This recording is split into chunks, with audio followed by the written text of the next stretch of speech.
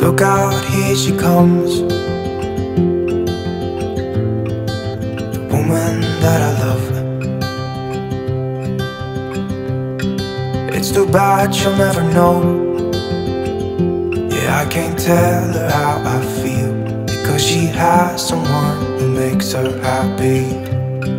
I'm a ghost in these walls. Or at least I try to be. Cause I hope that I'm not showing how I feel for her. But she won't feel the same for me. I've got this picture in my mind. It's just the two of So it's finally cooled down a little bit. Ah, what a relief. It's not as humid today. Still quite warm though. But it's super calm again. Nice putting my feet in the water. Oh god. I am 38 weeks now. And to be quite honest, I've had enough. I'm experiencing quite a lot of aches and pains now. My belly is huge. I just bump against everything. And yeah, some contractions. I'm super, super, super emotional. The last two days I was just all over the place really. And I can't really sleep anymore. But yet I'm super tired. But lying down even isn't nice anymore. it's just pressure everywhere. Just turning around in bed is a major exercise now. I'm gonna actually hold my belly, lift it up, and turn around. Oh god. I honestly enjoyed this pregnancy, I really did, and I think he he got that. But but now there comes a time when or discomfort outweighs enjoyment. And I've gotten there. Hopefully she'll make her way out very soon. Oh, and I'm out of breath, clearly. Very fast. Also, some of the first trimester symptoms have come back. I do feel a bit nauseous again. And my bladder, honestly, I think it holds like about one milliliter at a time. So I have to go to the toilet all the bloody time. It's ridiculous. Day, night, anytime. So I'm glad when that's over too. so there you go, 38 weeks pregnant, a little bit over. And yeah, it's um it's been challenging. I have to admit. So I'm at the point now where I think, yeah, she definitely could come out now and I wouldn't be upset. And I've been thinking a lot about how this all happened, this big belly of mine. I mean, I know how it happened, but you know, like, just Mark's and my journey, how we met. I don't think you know, we met um, we were both traveling in South America. Both had a gap year. I started mine in Venezuela, up north, and I went all the way down south to Tierra del Fuego in Argentina and Chile. And I had about a year, and I think about nine months in, nine, ten months in, I met Mark in um, Mendoza in Argentina. And I think he had only been in into his travels for three months or something, so he still had a lot to go, and I didn't have that much time left anymore. And yeah, we stayed at the same hostel, and we got along really well from the start. He was, um, you know, he was this cool dude in the hostel that travels with the guitar and sings, and he could actually sing and play the guitar. He's actually a really good musician.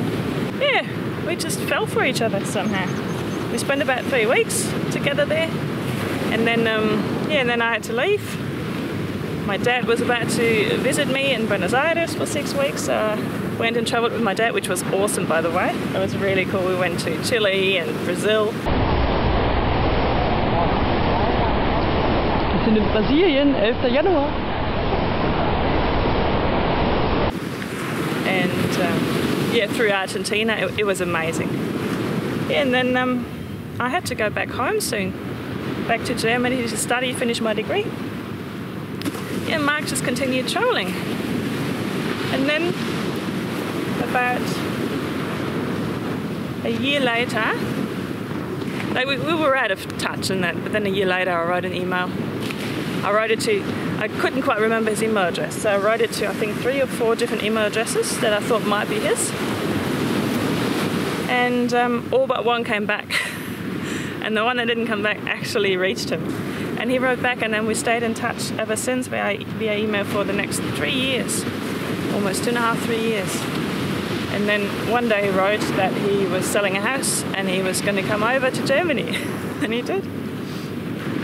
I was so nervous. I remember, like he flew into to Frankfurt on the 28th, I think, of, of May, and then he stayed there a couple of nights, got himself acclimatized and used to the time difference and that.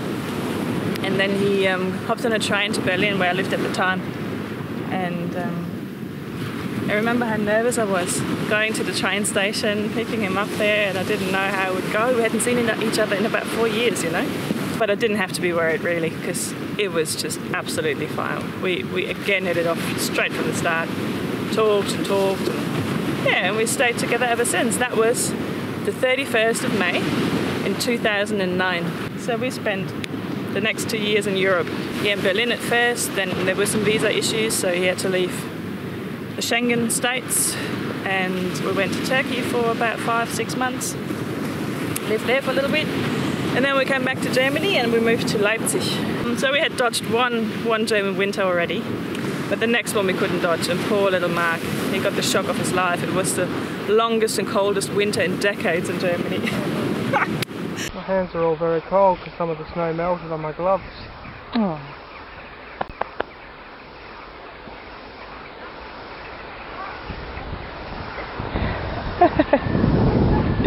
so it's first snow falling and threw his first snowball and went um, sledding we went we went down to Bavaria into the mountains which was nice he liked that but yeah like Leipzig itself is it's all flat and grey and miserable in winter and yeah we hung around there but yeah Mark didn't particularly enjoy it he went to language school in that time as well and he had his fun with that. so he learned German in that time, and they had to had to come up with little short stories and that. And one I filmed actually. It was about um, his dream profession when he was a little boy. mein Lieblingsberuf ist Hühnchenhüpfer.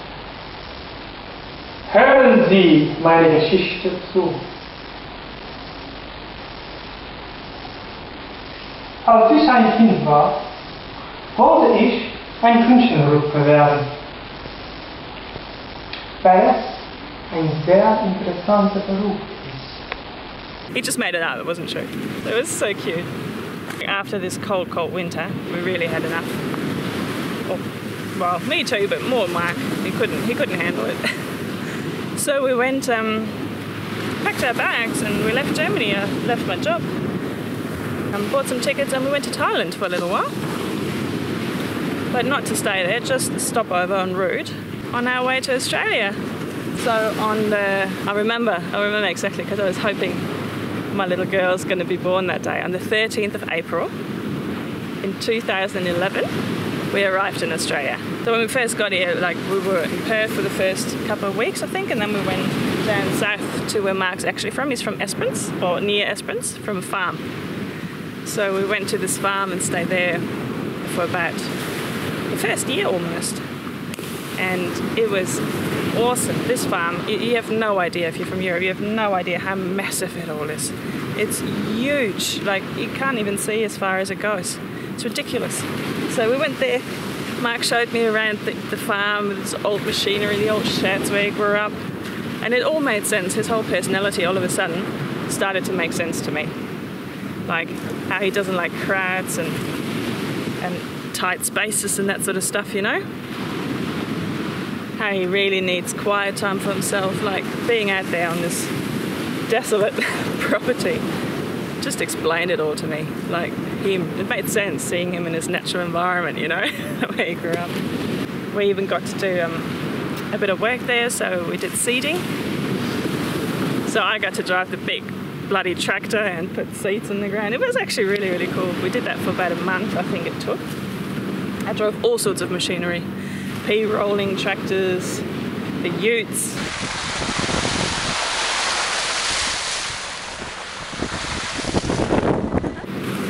yeah, there were sheep on the farm as well. So um, when there wasn't enough food growing on the fields, we had to give them a bit of food.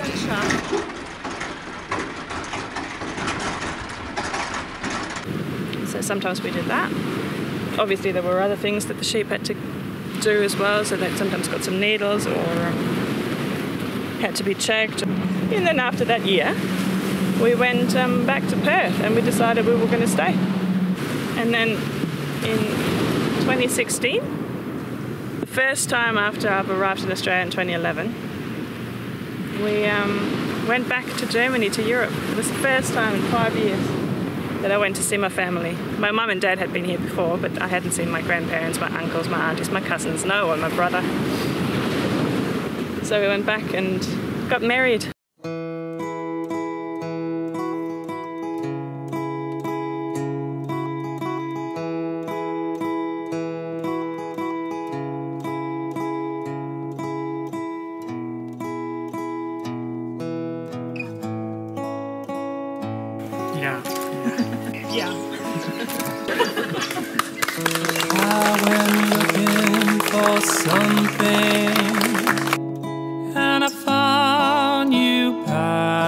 My side. But the searching was everything, pictures in the and I let you pass me by. Close my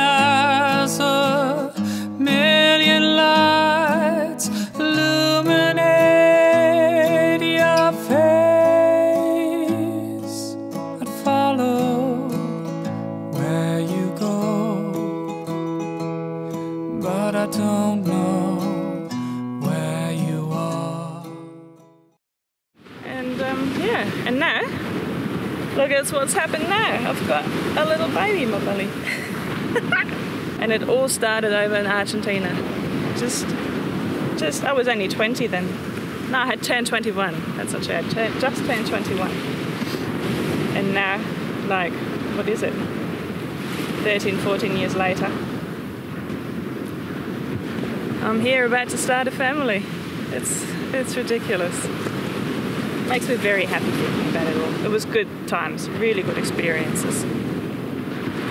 I'm so glad I met Mark. I'm so glad everything went the way it went. But coming from a tiny little town in East Germany and now sitting here with all the freedom in the world, this is ideal. Absolutely ideal. I'm sure she'll have a good life. I'm sure we'll have a good life. Anyway, so there you go that is our story. In case you've wondered, I don't know if I'm going to make another video before um, I give birth. If not, I'll see you next time with little baby. oh, thanks for watching, and I hope you all have just as great a life as I do. and if not, do something about it. all right, see ya. Cheers. Bye bye. Ha